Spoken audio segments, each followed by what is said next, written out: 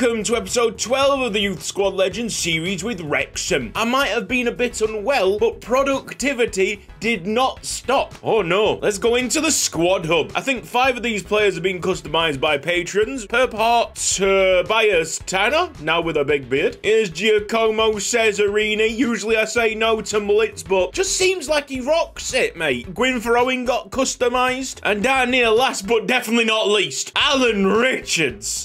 Oh, mate. I think the patrons have absolutely smashed it. Usually I would look at that and go, don't be ridiculous, but I can totally see it. I can totally see Alan Richards having that hairstyle. We're really up to speed with the player customizations, and it's surprising to know that someone like Ben Smacker has not been customized yet. He's just not being customized. So, if you've ever wanted to do something like that, and you've been thinking about adding your name to the patron list, you can customize him for like $2 two dollars and you can customize him. Same goes for Antonio Rocca. No one's come forward to customize him yet. I mean, the customization is just the tip of the iceberg. Regardless if players have patron customization attached, we're bringing in dynamic hairstyles to the series. So players will grow, style, cut their hair at random. Ben Smacker here, um, he's slightly grown his out. But for the likes of Danny Binns, it's a much smaller detail. He just hasn't had a shave for a couple of days. I'm not going to point all the changes out. There's been about 10 in total, okay? Some of them, like Spencer Nielsen, are so minute, but it gives the save so much more personality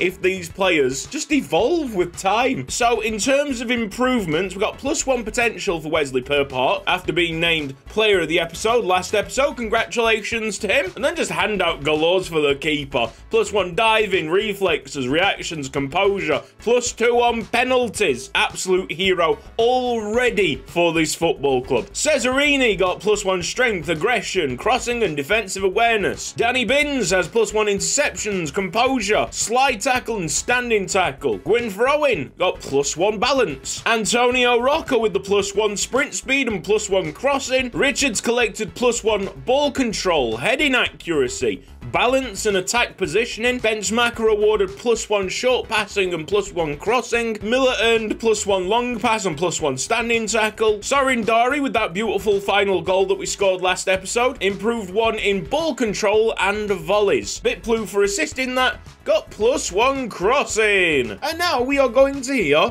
from Posh Cutzy. Hello there, Posh Cutzy here. We're going to have a scouting free-for-all. Spiffing, spiffing, spiffing. Rob and Ryan can afford it, can't they? Ha ha! Toodles! Yeah, the interest from my patrons choosing which countries to scout has been rather overwhelming. And at this current rate, we're not going to get through all of them, which I, I find quite unfair. So we are just going to go frantic, possibly until the end of this first season, to try and just get as many of those rewards covered. Like, youth players coming in first season will always have a greater opportunity to grow into decent players than those that drop into the, say, three, four years down the line when we're already, say, an established championship club. We'll be searching loads of countries, all for physically stronger players, because I don't think they're too overpowered in terms of overall. We kept on searching Kazakhstan and returned to Australia and Argentina for this first set of scout reports. Australia and Kazakhstan did not bring back anything just yet, but in Argentina, we do have a rather mental player. Cheers, Tony Pritchard. I know this lad's overall range is astronomical, and I should usually go crazy at this point, but I know that his overall is 65. Flavio Levia a 1.3 million pounds valuation. I'm just really excited for the combination of pace and physicality, but it is in a very competitive spot. Spencer Neal and Cesarini already established left backs. Don't worry, we're on the hunt for great names as well. It's not only the best overall players that will sign. Shout outs to Tony Pritchard, by the way. Goated scout. If Posh Cutzy ever gives me the opportunity to improve his quality to five star, five stars, I will bite his hand off. Looking at the table, we are bottom, but it's rosier, isn't it? Newport County, they've played a game more. And they're only six points ahead of us. It's Grimsby away next. They play in a 4-1-4-1 or 4-5-1 formation. They're currently hovering around the playoff spot, so they're doing rather well this season. Collect the trophies, way! Yes, can confirm myself that Playstyle Plus has happen way more frequently on Youth Academy players now, which is a fantastic bit of news. But instead of offering random playstyles, I did get a good comment that suggested to only offer playstyle pluses as a replacement to the player's current playstyles, if that makes sense. For instance, Ioka would be eligible for like first touch plus because he's already got first touch playstyle. And that's what I think will be on offer for this first match. It's first touch plus for Ioka if he can successfully trap 15 long balls through the air. I'm going to spam that like crazy. It's Grimsby against Wrexham. Yeah, so it's a large amount, but it is totally achievable. It's quite an easy request. There's one. Basically, every single attack we need to go down that side. Don't forget, we are obviously trying to win the game as well, so we will be losing the ball quite frequently. I'm not just going to add a playstyle plus for the sake of it. That's our third successful track. Doing good so far, only 12 minutes in. It's great work by Neves. Absolutely hounding that Grimsby player. Fantastic stuff. Tomoharu Ioka to Alan Richards. Oh, somehow stays on his feet. It's incredible by Alan Richards, who's trying to go all the way. Could he have slipped it into Antonio Rocca? I don't know. Antonio Rocca has not given this one up. Eastwood, look at the press. Oh, yes, press. No interception there by Danny Binns, and we have got incredibly narrow here. Dangerous, but Danny Binns, lovely touch. Danny Binns out of position. He's got back, bless him. Well played, mate. It's actually really difficult to purposefully get the ball to Ioka on a long pass. Maybe it's because of his height. I don't know. The formation probably doesn't help. Here we go. Okay, we got number five in. Miller on the overlap. Alan Richards with Akers. Go on, Alan Richards all by himself. He'll have the strength, but he won't have the finish. That'll be number seven. Get there for number eight. Lovely first touch. Tomoharu Ioka. He's played the ball into Dari. Oh, no. Oh, the referee has absolutely killed us there. Never spotted the run of Antonio Rocca but the referee has called half time. Good news, Ioka is well on pace here. 8 out of 15 completed in 45 minutes. Cesarini switch. How about that? Oh, lovely touch, Ioka. Rose trying to make space, but Benchmaker back in a defensive role. Her part called into action for like the third time today. It's been relatively comfortable. Oh, Owen. Can Danny Binns find it? Yes? Oh, it's beautiful. There's number 13. It's great defensive work. Light years from the start of the season. There's Green with the opener and maybe the killer. Grimsby Town have the lead. It's not perfect from per part. We need two long passes to Ioka in 10 minutes. Number 14. Get it back to Danny Binns. Ioka will be there out wide. Just needs to control this. Gets tackled in the process. I'm not giving him that one. Here's Neves. This will be number 15 for sure. And Ioka has a playstyle plus. Well played, my guy. Now crossing. Miller. Chance. Benchmaker off target. That would have been double delight. I think you have to put it down as a per part mistake. That's full time. It's a 1-0 loss. We are still struggling to find anything from Kazakhstan and Australia. But a nice little find here. Tony Pritchard, once again, giving us the goods. United States, as requested by Clastro, coughs us up Joseph Tambora, an American with Guam dual nationality. Tony Pritchard just flexing his muscles. Tambora's a 60 overall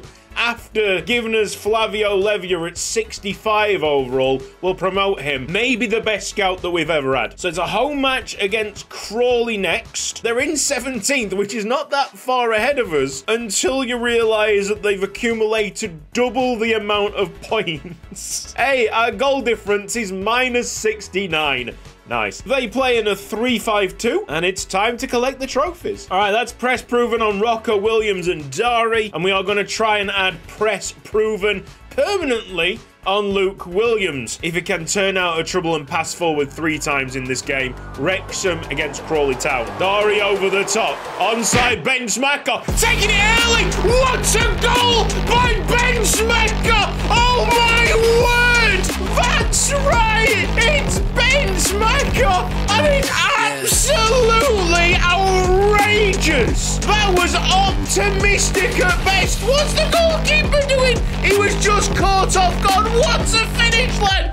Goal of the series maybe has just happened. Big time Ben Smacker. Hair in the eyes doesn't affect him. That was just meant to be a sighter. Keep the goalkeeper on the toes, you know what I mean? I always do sighters at the start. Try and get set early. I don't really expect them to go in. He genuinely is a little genius, that fella. Chance for Purple Heart to make a save. It has dropped straight back to Campbell 1-1. I've just seen that our new lad has got some kind of playstyle plus, intercept plus, and whip pass. Very nice indeed. Levia does seem like a very, very solid left back option. I mean, you've got to really wait in line, to be honest. That's going to be a hell of a rotation job between him, Spencer Neal, and Cesarini. Pressure. Good turn by Williams. Now just needs a forward pass. That's two. Lots of pressure here. Williams surely turns out of trouble and passes in for press proven. Well played. He's now got it permanently and it will make him a monster, I'm sure. Dory! I think this second goal is more likely to come from Crawley Town. Oh, it's a good ball. Traore's not marked it up properly. Front post shot. I gotta be real with you. I don't think the goalkeeper's covered it properly. But then again, when have we ever seen it being covered properly this series? Never. Look at the amount of space that he's left wide open there. Damn, are we really gonna have Ben Smacker score that goal for absolutely nothing? Can't believe it. After that insane start, we've hardly done anything in attack.